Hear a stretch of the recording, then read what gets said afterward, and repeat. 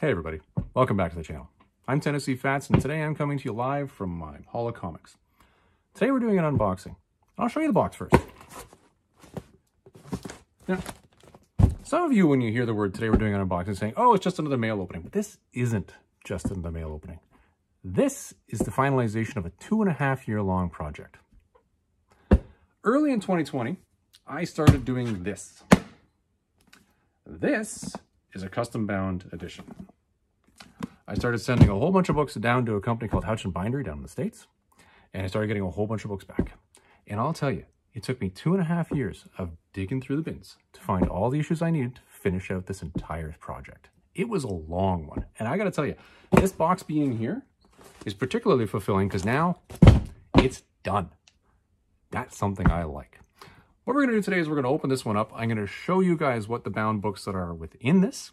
And then what we're going to do is we're going to look at the entire run so you guys can see what I started with and how I finished this. And then I'll talk a little bit about why I did this. Let's get into it.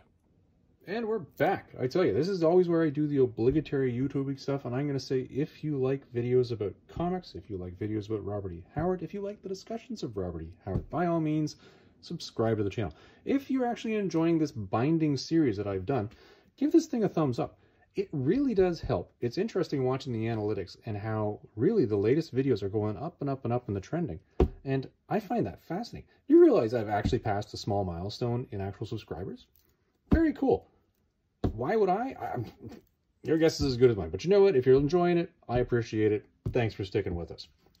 Let's get into this thing here. This is the box in question. Kaboom. Now, I've covered up all the obligatory uh, sensitive information here, so what we'll do, because this is a much more attractive box to look at the back of, let's start over here. So, let's start with, what is this? What, what have we really done here? Why did I do this, and what was the motivation for doing this? Well, I tell you. Those of you who don't know, my comic collection from back in my original owner days, this is back from me buying off the racks in the early 90s, and, well, actually the late 80s and early 90s which actually back then was mostly done at a convenience store when I was really young. Uh, so there were newsstands. Uh, my collection was about 16,000 books. I pared that down a lot. I got rid of a lot of it. And I'm down to about, I guess, around 6,000 books now. When I was paring things down, though, when I was looking at what I still had left, because I said, these are important to me, I said, you know what I should do? I should start getting things bound so I know exactly what I've got. I can really enjoy the things that I enjoy and they won't get destroyed, and I can read them. There's a lot of stuff that I like, other people don't like. Um, and I know that's somewhat silly, but it's true. Everybody has individual tastes. Wow, look at the packaging in this. Holy mercy. Like a vault Like a, wow, well done. Anyways, so what's happened is a lot of the stuff that I like, nobody likes. Nobody reads. Nobody nobody really gets into it. And they don't reprint it all.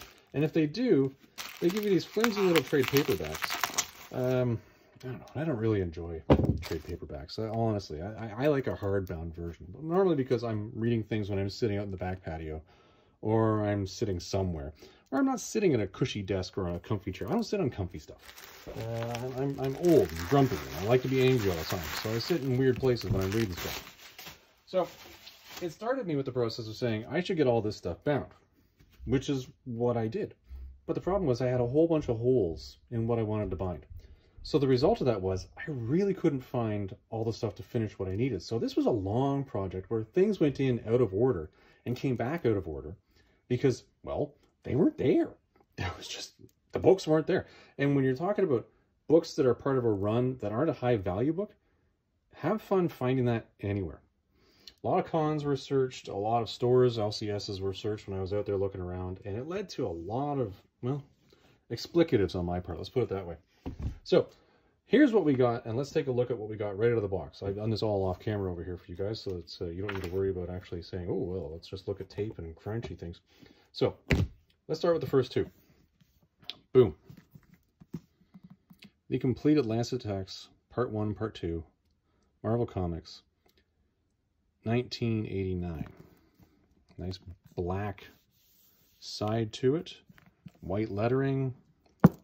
These are custom image covers where you can pick with Houchen Bindery which covers you want to have on the front and the back of your book. This is a sample one. It costs, or simple one, sorry. It costs very little to actually have this done as opposed to Buckram. Those of you who are curious what Buckram looks like, That's what a buckram binding looks like. It's um, You can get all sorts of things on it. But this is a small run that I just picked up the four issues for the miniseries and I had it bound because well, I wanted to read it. So that's what buckram looks like. So that's the one thing that came back. That's that's one right there. Now these originally were uh, squarebound comics.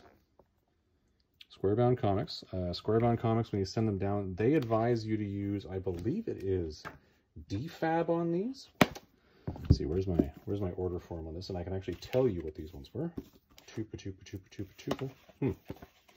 All right, well, I can't find the order form right now. But I believe these were DFAB, which was something I was quite nervous about until I opened the last box. And for those of you who are wondering about that, you can go back and actually watch the prior video. It's on the playlist that this one will be in.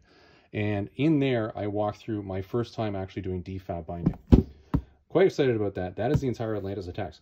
It isn't just the annuals. This does include the one-off issues. Uh, let's think about this now. What were the one-off issues in this one? There was a Marvel Comics Presents that was a tie-in, which I believe was a Joe Fixit story. Still haven't actually read it all the way through, so I can't tell you. And there was a West Coast Avengers issue that was also a tie-in to this. The West Coast Avenger issue that was a tie-in to this, uh, stupidly, is now a minor key because I guess it's one of the appearances of the uh, the Scarlet Witch. Uh, I have a lot of thoughts about that. Mostly that it's stupid, but whatever. You know what? It's a minor key. I had to get a cheap copy and stick it in here. So kind of cool. The other one that's in here that I guess a lot of people suddenly has spiked interest in uh, over the last years was um, the, uh, was it the Punisher? The Punisher Annual. Punisher Annual in this uh, had the Punisher and Moon Knight on the cover fighting. And because Moon Knight and the Punisher are both on the uh, the TV series universe, that suddenly went through the roof for no reason. Just just dumb. Just dumb speculation. And by the way, for any of you who are wondering, or is this first one of my videos you watch, I can guarantee you that at no point in time on any of my videos are you going to get spec discussions. Um, because I'm not a whatnot seller or a reseller of comics. Uh, I have no vested interest in trying to hype up demand in my own books. So what you're going to get is just a discussion of, you know, just the books. There, there's my aside for the day. You know, that probably just lost me a bunch of subscribers. But eh, if, if that's why you were here, you were here for the wrong reason. Now, this is the last piece that was part of the overall run that I had to come back with that one. The annual story of Citizen Kang. This one actually had a bunch of stupid keys in it. Kang the Conqueror suddenly starts appearing on, uh, what was it, the last couple episodes of uh, the Loki TV show, and boom, suddenly you can't find these anywhere. Or if you do, you can find them for 30 bucks. 30 bucks for an annual that has no input into anything. It is not a key. There's no interest in what is these whatsoever for 20 years, and suddenly you stick, oh, look, this is me, I'm in, I'm, I'm in a Loki TV show. And everybody's out there saying, oh, well, you got to buy the Citizen Kang stories. Uh, you know what? Stick it. You don't need to buy the Citizen Kang stories. But I found them. And where did I find them, of all places? In Florida. I was physically there, and I went to every comic shop I could find, and that's where I found the last of the issues that came with this. Bingo. So that's those are the last of the two project books. Now, some of you will have looked at those and put two and two together and said, wait a minute, Tennessee Fats, is this what you were going for? We'll get to that in a minute. Let's, let's just go. Because there are a couple one-offs that came in this. All right, one-off time. Bam. Yeah, that's what I'm talking about. So Man from Atlantis. Most of you will have no idea who this is. They'll have no idea what this is. Um, this actually severely dates me. Yes, it does severely date me. And it's interesting because I'm going to go on an aside on this because this, the first issue of this, this is why this means something to me. Issue one of Man from Atlantis was first given to me in ooh, 1989. Yes, 19, 1989, which for those of you who don't know is a reference to the, uh, what is that, Public Enemy's Fear of a Black Planet album. Um, this issue, number one, was given to me as a package from Consumers Distributing. Yeah, that was a Christmas gift to me from Consumers Distributing because I just got into, well, at least people noticed that I was buying, collect, collecting comics at that point in time. And what they did was they went to Consumers Distributing. For our American colleagues, you're going to have no idea what I'm talking about. So let me, let me give you the, the Coles notes here of Consumers Distributing. So basically, picture this as a retail storefront, okay? Your door goes over here, and there's a counter over here. You would go into these places that were put in strip malls all across Canada. You'd wander through the door, and in the middle, there would be an aisle of tables, just like the one I'm filming on right now. And you would have a series of catalogs that would be stuck in binders, and they'd have um, basically wax pages in them. And you turn the pages and flip through them, and you get a little piece of paper out, just like you were going to, like, for example, do at a bank deposit. You get a little slip out of the actual little box, and you'd write down the sales item number from the catalog, and you'd write down the price over here. And then you'd keep going through and you'd write down any other stuff you want and the price over here. And then you total it up because you'd have to total it up right there on the counter using your brain instead of a calculator. And then you would take that up to the counter and you would wander over here to the counter when they called your number because You had to take a number. And then you would give them your little slip of paper and then you would go sit down on the chairs and they would disappear off in the warehouse that would be all over here. And they'd come back with your stack of stuff and walk you over to the cash and you would pay and you'd leave with your stuff. It was the stupidest model because you would get the catalog mailed to you at home. Uh, so you already had it at home. And instead of giving you the ability to order it at home, you had to literally go into the store. So you're paying for a retail storefront for basically a warehouse and catalog business. The dumbest thing ever. Um, it didn't survive. I know. I, I, you're shocked. I'm shocked. We're all shocked. Listen, we're. But either way, moot point. This means something to me because that first issue was given to me in that package that was, I believe it was a Christmas present, and with it came a book on how to collect comics which I remember reading front to back because I think my entire comic collection at the time was maybe 30 books. And suddenly I got this stack of uh, 15 or 20 comics with this book. And instantaneously, I was convinced I was a millionaire. I, looking back on it, it was the stupidest thing ever. I have no idea how the hell I got that sense in my mind that I was going to retire early off of comic books. But I guess that's all just the hype about comics, and that's what it is. Anyways, so this issue in here, this issue number one, which is right here, is my original copy given to me, which is a newsstand, uh, in 1989. And I think this was published in, what, 70? Let's take a look here. What do we got here? This was published in 1977. And Man from Atlantis, for those of you who don't know, was a great TV show. Uh, the guy later went on to be in Dallas, which was another great TV show. Uh, but they made two made-for-TV movies. Uh, and then they made, I think, one season of this series. And this is the comic adaptation of that. I have gone out uh, because, what can I say? When I sent this off, I suddenly got all nostalgic. And, and I made sure that I went out and I ordered and I went on Amazon and I bought the DVD Blu-ray of uh, the two made-for-TV movies. And I also ordered the TV series. And I've been watching that over the last little while. And I got to tell you, it's it's it was a great show for its time. I'm really surprised that well, it just it died. There's there's nothing after that. But Moot point. That's that one. This is one of the asides that I did. Pretty cool. Man from Atlantis. That that that is just pretty darn awesome. That's uh, and and again, the the option of doing the uh, visual covers on these things just fantastic. Last one I did, which is another one-off. This one took a while to find, actually. This is the complete collection of Extreme Prejudice. Image in the early 1990s did a bunch of, or attempted to do a bunch of what Marvel and DC would do every summer, which is they do a massive crossover, which should force you to buy all their books. Basically forcing the reading public to become familiar with every single one of their titles. Uh, and they still do it today. They still do it today. If you think they don't, you're getting snookered. Take a look at what you're buying if you have a pull list out in the store active right now. Trust me. Yeah.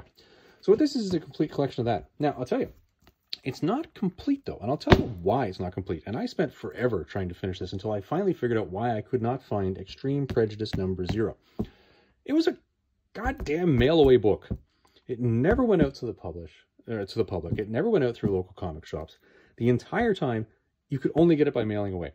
And I'm like, that's why I can't find it anywhere. I was digging through local comic shops forever, and finally I said, you know what? F it. I am not waiting for this stupid number zero. To hell with it. I got my collection. I'm good. Let's just move on. That's the last piece of the, uh, the one-offs. So that's pretty cool. I'm pretty excited about the one-offs. Now, let's get back to that earlier topic I was talking about. This, this, this is the thing. So what did I do here? What did I collect and what did I buy? Why did I do this? What was the overall project? Let's just let's just put these out here in some semblance of order so you guys can kind of get a sense. And then you're going to start putting this together, okay? Right. Okay, we showed that one to you earlier. Okay, okay, okay. I'm, I'm seeing where we're going with this one. Okay. Hmm. Over here. Hmm. And then... Hmm.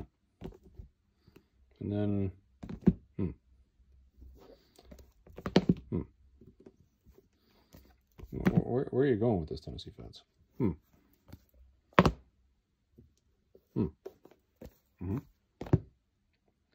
What you got in front of you here is effectively all the crossover stories that meant something to me when I was collecting and I was bought into, thoroughly invested into the Marvel crossovers. This is it. And th- this is funny. There's actually only one of these crossover stories that I didn't include here. And the only reason I didn't include it is because of speculation. Uh, I'll be honest. Every once in a while, this market, for good or for bad, uh, ends up getting its knickers in a knot, where somebody says, oh, well, this particular character, which has meant nothing to anybody forever, we're thinking about sticking them in a new Disney show. Or we're thinking about sticking them in a new movie. Or we're thinking about stick a great example. Uh, oh no, no, no! I'm not going to give that example up because you know what? I will ruin it for anybody who has not seen Blackout. Um, different example. Or I know Scarlet Witch. Great. Who cared about the Scarlet Witch?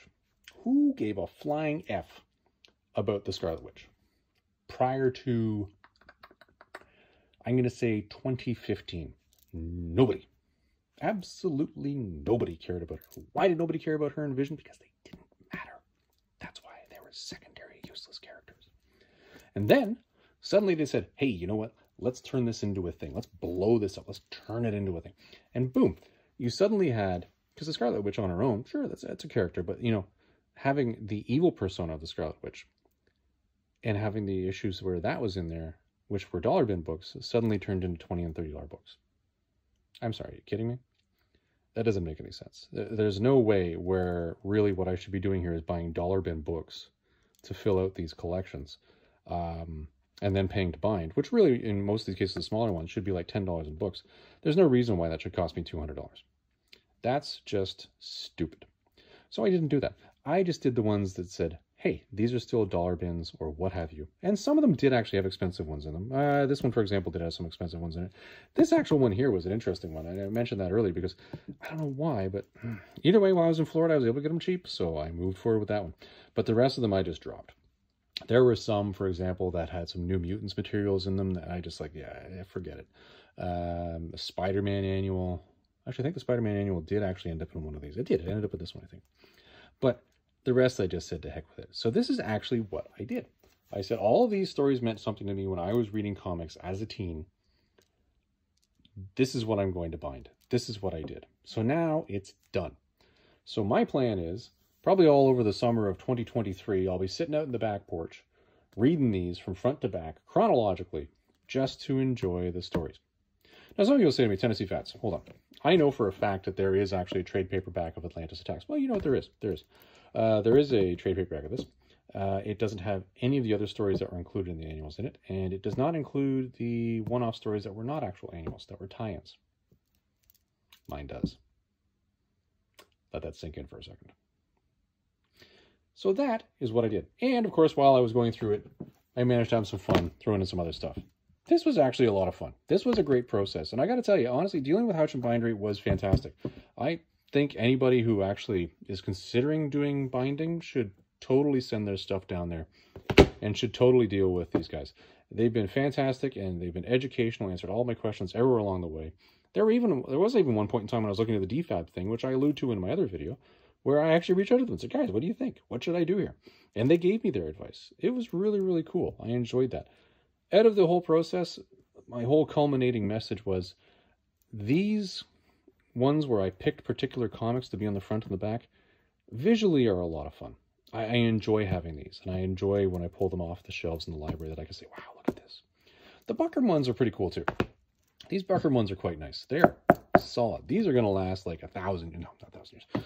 They're going to last like a hundred years. So I enjoy those. And I, I know for a fact that if you do bind these, it's very easy to just go out and have a printed uh, dust jacket thrown on this. That's all sexy and you end up with something that's very close to a commercial product.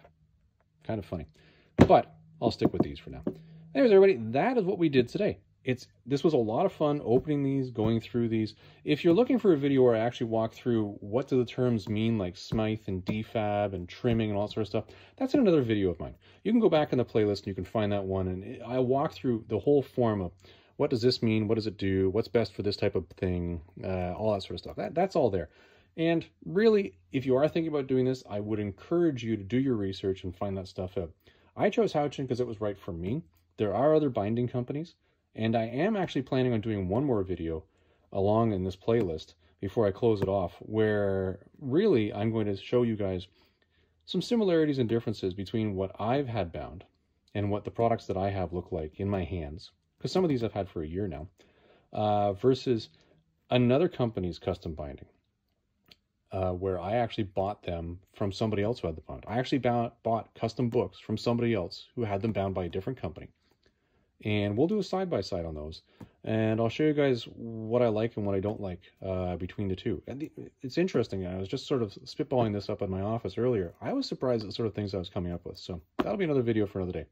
Everybody, I hope you enjoyed this one. I do hope you actually take the time and look into binding if you are considering it. It's a very rewarding project and it's so great. Like I tell you, when this one came back last year and I sat down on my back patio with a cup of coffee and read this from front to back, it was so much fun and so gratifying. And having this project done now, this is huge. This this is a big one for me. Big tick box, done. Move on. Move on with your life. This is going to be great to read and I'm really going to enjoy this.